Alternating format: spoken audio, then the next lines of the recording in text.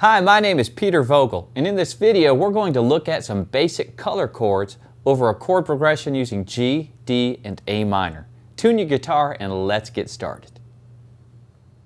Okay, so this chord progression basically starts with a G, plays a D major chord, and plays an A minor chord. These are the chords we're starting from, so G, D, a minor. We'll hold A minor for eight counts. So it's one, two, three, four, one, two, three, four, one, two, three, four, five, six, seven, eight. So these are our basic chords. Now if we want to use color chords, all that means is we're going to add an extra note or two to the chords to add a little bit of extra texture. Let me give you an example. Instead of playing G, let's try G add 9. An add 9 chord is a chord substitute or chord color, like I like to call it, for G. Just a little bit more interesting, that's all. For D, a D add 9 chord.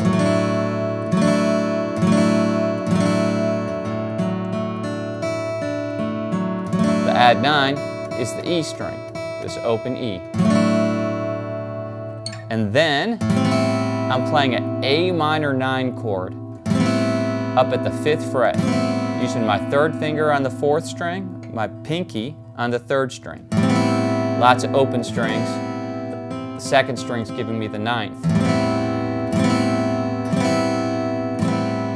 So if we put these in order, G add 9, D add 9, A minor 9. This is what they sound like.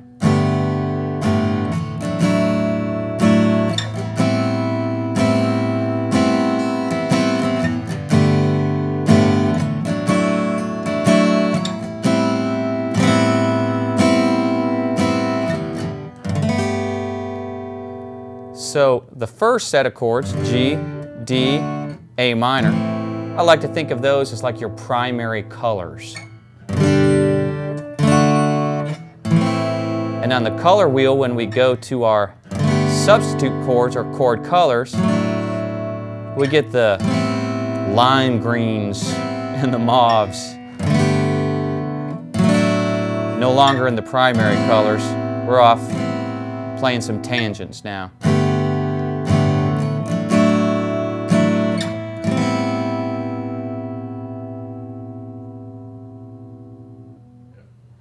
Well, that's our video for today. I hope you learned something new and can incorporate it into your playing. To see this idea explained further and many more examples of color chords, check out the Color Chords Premium download. My name is Peter Vogl and I will see you again soon.